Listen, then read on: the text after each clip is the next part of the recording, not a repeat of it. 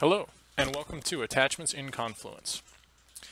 Today, we're going to be going over what attachments are, how they're stored, how we can add them and remove them, and how we move them around. So what are attachments? Attachments are any file that's a document type, PDF, PowerPoint, etc. that are appended to a page. And how are they stored on the pages? So think of each page in Confluence having a front and a back side. The front side displays the links to the attachments that exist on the back side of the page. The reason this exists is because it allows for version storage of each attachment and it allows for indexing in the search function. So to add a, an attachment to a Confluence page, there are a few different ways we can do this. The first one we can edit the page, drag and drop the attachment from our desktop, update the page or publish it, and it will display. So this is the page we're going to add an attachment to. We'll edit. Make sure our cursor is down on the page. We'll drag and drop the document on. And there it is displaying as a preview. I'm going to go ahead and show as a link. So I'm just left clicking on it and selecting show as link and I'll update. Remember, this is the front of the page. To see the back side of this page, we'll go to the ellipse at the top right and select attachments. Now this is where the actual attachments exist.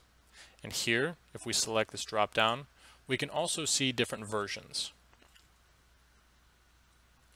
I'm going to go back and view the page from the front side and add a second version of this attachment so we can see what version control looks like.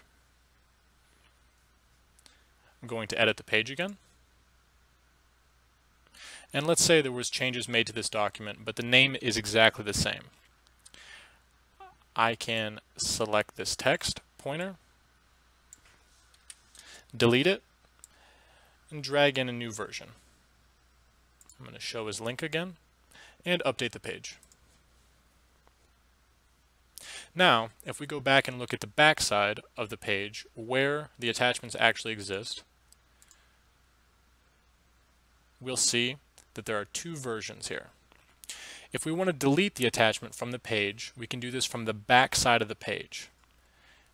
We can delete the whole thing by selecting delete, or we can delete a specific version by selecting the appropriate delete button. Another way that we can add attachments to a page is we can edit the page and go to the Insert Files and Images selection and then Update.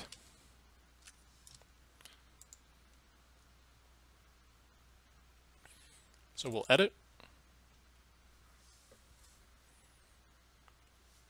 go to the Insert Files and Images function,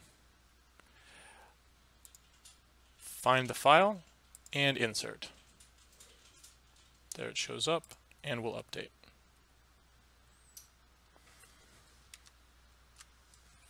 The last way that we can do this is using the attachments macro.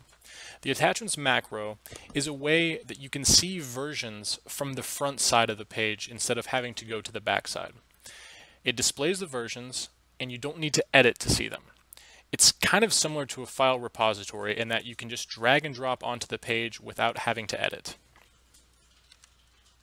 So to add an attachments macro to this page, let's edit the page.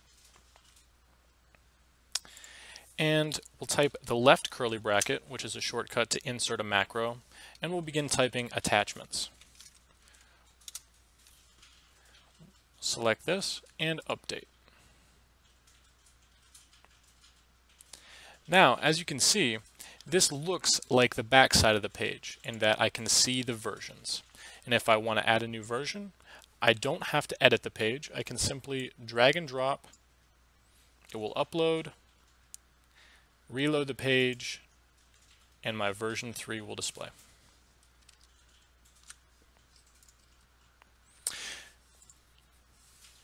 To move attachments around on a page, you can move the link by highlighting it and manipulating it like a text in a Word document.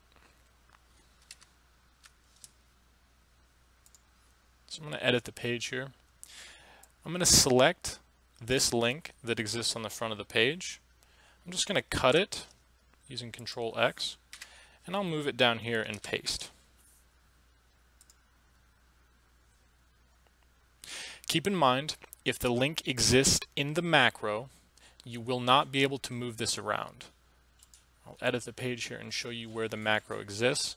This is where the links will show up. So if I want to move this around the page, I can simply click and drag and then update.